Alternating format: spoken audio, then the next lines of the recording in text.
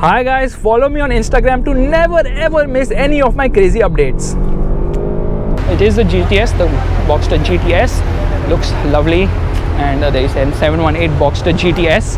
Twin exhaust in the center. Yellow color looks really nice. Cars are revving up. Alright, let's try to stay together. Off we go. The last two cars approach uh, the convoy, please. And we are off! This is the Boxster four cylinder engine. Pardon the radio noise, but together, closer together, closer together. Let's go. Here we stay on the inside.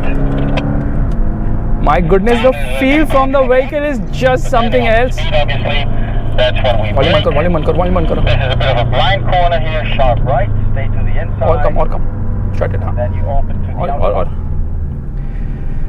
All right, and now we are going to get hard onto the throttle. Let's see what this straight has got for us. And now we bury the throttle. My God, red lines at 7,000 RPM, and the pull from this motor is absolutely mind-numbing. 365 horsepower from the 2.5 liter motor. Okay, there is a slalom test. Brakes are very sharp. Downshifts really fast. PDK transmission, seven speed through the slaloms okay, they very smartly put the slaloms there, so we cannot hit high speeds. But my God, the car really accelerates with so much gusto, and the noise from this motor is just mind-boggling. Okay, we're doing 150 kilometers per hour. There is so much feel from the steering. It has so much response. And guess what? This is not even the 911. This is just the Boxster. Okay, now Boxster and Cayman similar cars. The only difference is that this one is a convertible. That one is not.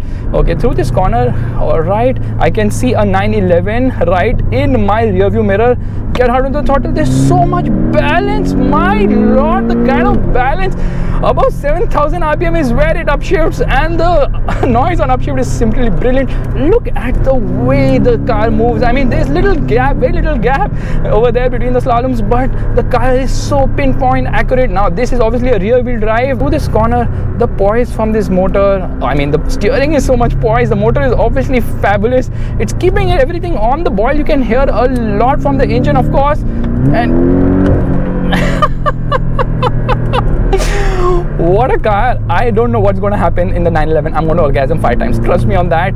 The poise from the car is just brilliant that is why Porsches are known as Porsches because the balance, the way the car moves is just brilliant. There's so much feel and the steering is so pinpoint accurate. I mean, you can just decide where you want the steering to go. I have driven a lot of cars, trust me, but this car is just something else. Now they mark the lines to make things easy, which is a good thing actually, so that you know you don't understeer.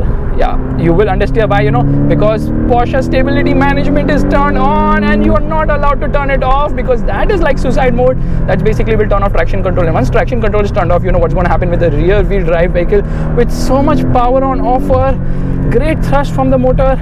I love the way it's keeping the engine on the boil now. Obviously i can't tell you if uh, drivability is good or not. What i can tell you is the mid-range is absolutely lip smacking massively awesome. I don't even know that word exists in the dictionary but just look at the poise from the steering. It feels so glued to the road get onto the gap absolutely punches hard and fast. Guys this is one lap of the Buddh International Circuit in this Porsche and trust me on this what a car.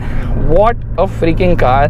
Now the price of this vehicle is around the same as uh, probably the f type and i'm not talking about the 5 liter f type obviously there are a lot of f types on offer. But the feel from the chassis the level of communication is entirely in a different orbit altogether. Did you enjoy that arushi? She's so focused on making sure that my camera frame is not spoiled. I've kept it on super view okay let's be adventurous with the next lap. Let's keep it not on super view but i will keep it on wide view and let's see how that goes. But right now we're in sport plus. We're not in manual but we are in sport gearbox sport suspension as well. And obviously Porsche stability management is turned on. By the way the full form is PSM stands for please save me. That was one lap hot AF but I loved it and if you like this video you know what you have to do? Give it a thumbs up that's a like button and also subscribe to the channel. Here we are and we get into park. That's it. We don't have to pull the handbrake because if we do that then the rear disc which are very hot will get affected. Bye bye